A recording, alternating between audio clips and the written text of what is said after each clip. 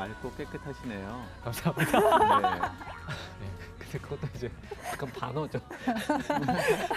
단어죠. 솔직한 속내는 속내는 솔직한 속내는 제이 우린 각자의 인생 안에 주연들이라 애써 누굴 닮잖아도 돼 숨막 에세이로만 비교했을 때 기존 작가분들에 비해 뒤처지지 않습니다. 재밌습니다.